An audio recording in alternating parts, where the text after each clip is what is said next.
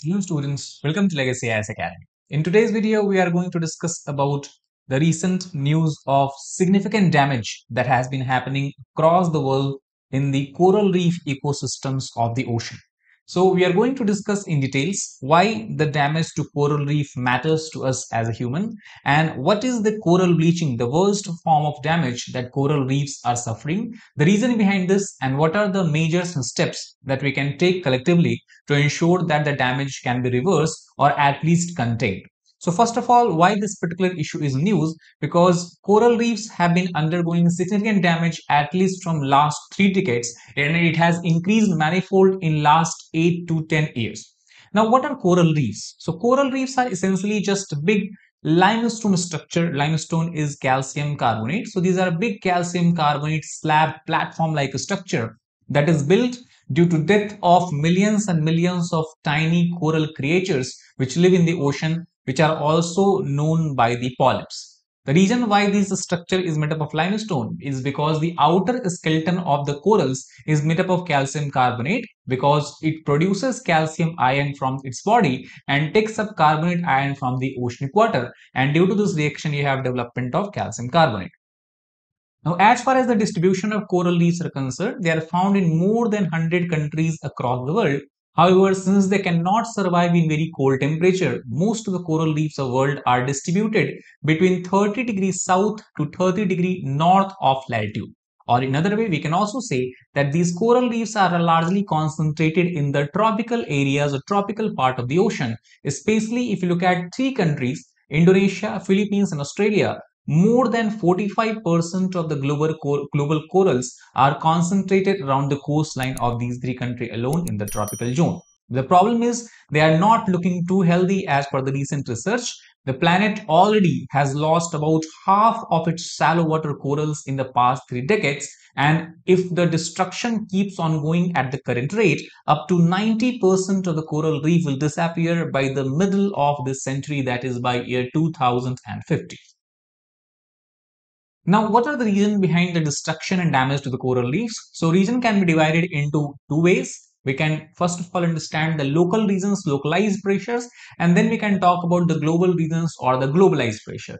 Now, local, local pressures are like related to the activity that is performed by the coastal community such as overfishing reduces population of grazing fishes and that can smother the corals. Deforestation that can result into soil erosion and then the soil sediments can go in the coastal water blocking light and choking the corals causing their death and destruction. Third also we talk about the development the rapid fast paced development that is happening in the coastal areas that also typically results in huge amount of soil and nutrients that wash out into the reef habitat and can cause physical destruction of the corals or any kind of pollution that is emanating from the land such as toxic chemicals, pathogens or the discharge of effluent, untreated discharge especially of effluent by the industries and coastal areas can also cause a lot of pathogens to infest the corals and can cause reduction or destruction in the coral habitat.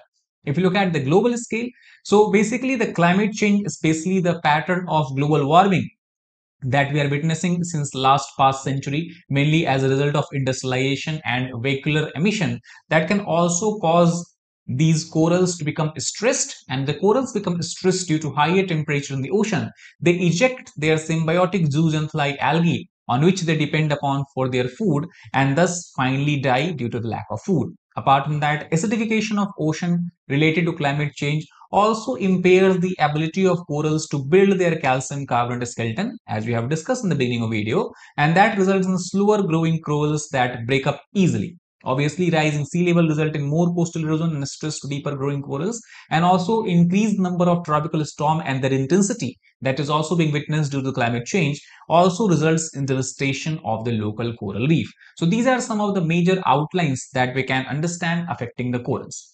So obviously the question comes since corals are living in the oceanic areas, at most they can affect the coastal community. Why we as a human should be concerned about that? What is the significance of coral reef for us? So the first and foremost significance that coral reef plays is that it ensures the protection from the coastal flooding.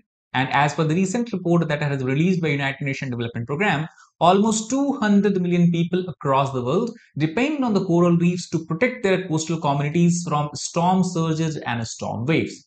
On the other hand, corals also actually act as a low crested breakwater and absorb almost 97% of the tidal wave or the coastal wave energy, which substantially reduces coastal flooding and erosion. That can also have positive impact on the soil health in the coastal areas, leading to more agriculture and the more growth of uh, or more higher yield of the crop in the coastal plains if you try to understand this from the economic point of view in the forms of data, so as far as the coral reefs are concerned, collectively they help avert almost 1.8 billion dollars of uh, of damage each year by the tropical storms and by the coastal flooding. So this is how coral reefs are significant for all of us. But not only is the coastal flooding, but also they play a very important role in ensuring healthy biodiversity in the oceanic areas. For example, as far as the area is concerned, coral reefs cover less than 0.5% of the Earth's surface, but as far as their marine species are concerned, they are home to almost 25% of the all marine species. And it's due to this particular region, corals many times has been recognized by the scientists as rainforest of the ocean. That means how rainforest on the land surface plays a very important role of ensuring biodiversity high biodiversity as well as act as a lung of the earth. Similarly, corals in the marine uh, area also have a similar kind of function. Thus, by acting like a host of such a huge biodiversity, it provides resilience to the planet. A vast resource of potential scientific discoveries are present inside the coral, and this is a result of millions of years of evolution that is happening in the corals. Well, biodiversity underpins a healthy planet and social well-being. Thus, coral also plays a very important role not only at local level but at the global level. But not only these, but also in the healthcare and the pharma sector, corals can play a very, very pivotal role in the coming time. For example, 80% of the life currently is underwater and researchers are increasingly looking to marine organisms to satisfy the need for novel chemicals and enzymes. Also, corals can be built and the resources that we find in corals can be helped uh, can help to build the pharmaceuticals or the medicines of tomorrow. And actually the prospect of discovering any new drug is very very high in particularly the coral reefs and generally in the sea is hundreds of times more likely than to finding one on the land. Because a large part of the coral reefs in the ocean is still unexplored and treasure trove of large variety of animals as well as the plants so let us look at some of the important examples of the coral reef and the marine resources that help us in developing new medicine. So for example, we have anti-cancer anti-cancer agent Ara-C that actually is obtained from a spongy looking substance that is called a sea sponge found in the Caribbean Sea, the coastal regions of the Caribbean Sea. Similarly, we have another compound called as dolastatin T, which is used for the treatment of breast and liver cancers, tumors and leukemia. These are also found from the substances that is called as sea fungi or sea fans, sea whips also sometime, and also trabectedin or eleutherobin, these kind of compound which are very, very important for slowing down the growth of cancer cell as well as can be used for the treatment of cancer such as chemotherapy is also derived from the coral resources. So these are some of the notable examples that how corals can help in the medical sciences as well. But not only these, corals also play a very important role in ensuring food security and providing us food with food resources. For example, it provides shelter and function as nursery ground for some pretty commercially important fish such as lobsters, prawns and all these. And overall, if you look at the fishing resources that is offered by corals alone, it has a value of almost $6.8 billion a year. And also from the perspective of human population, almost 1 billion people across the world can uh, actually source their food or income directly from the coral reef. So you can understand that corals have multifaceted way of helping and providing us with a lot of different different type of resources in almost all spheres of our life.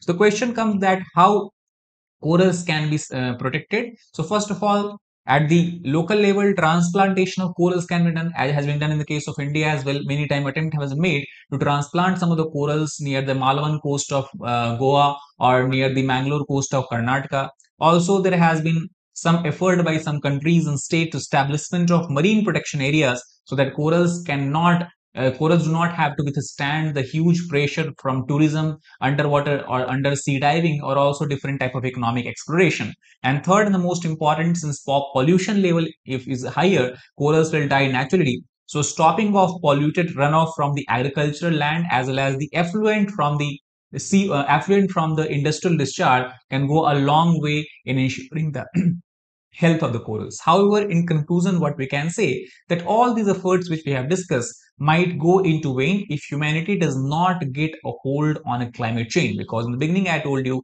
global warming is the biggest culprit that is causing stress among the corals and causing coral bleaching or death of the corals. And it is a singular threat to the future of coral reefs. And that is why in the long term if we want to protect and preserve our coral reef we have to reduce the greenhouse gas emission because that will give the best sort for coral reefs for their survival so I hope you understood about this particular topic about coral reef, the threats they face and the significance they hold for the humans. If you like the video, please hit the like button, share it with your fellow aspirants as well as subscribe to our channel for more social content. Thank you very much.